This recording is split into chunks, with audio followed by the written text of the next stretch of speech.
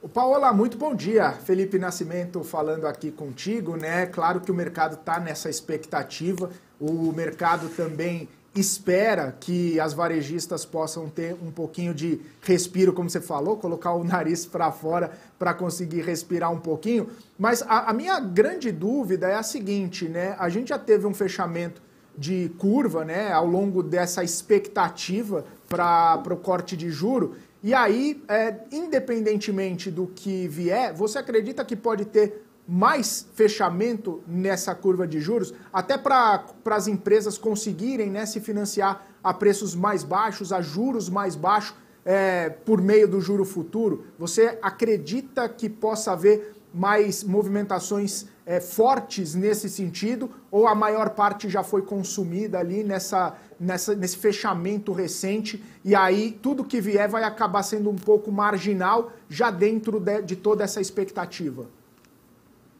Bom dia, Felipe. Excelente pergunta. Às vezes as pessoas colocam muita expectativa nesses movimentos do Banco Central, mas o Banco Central ele é muito mais o termômetro do que está acontecendo do que uma locomotiva de fato. Então eu acho que a queda de juros ela só não é mais expressiva, não é porque o Banco Central não quer, é porque a parte fiscal do nosso país realmente não está em dia. Então a gente olha agora, estamos em discussão de uma reforma tributária e já sabemos que está faltando receitas. Da onde que a gente vai tirar o que está faltando?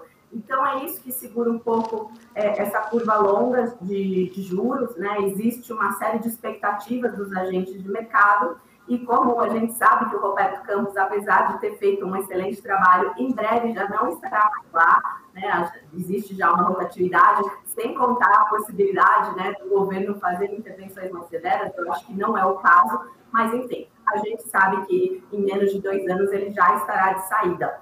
Então, a questão que resta é qual é a saúde econômica, né, a saúde financeira, principalmente do ponto de vista fiscal. Então, eu não estou trabalhando com um cenário de uma queda mais abrupta, à luz da informação que a gente tem hoje, mas seria excelente se a gente tivesse qualquer sinalização nesse sentido.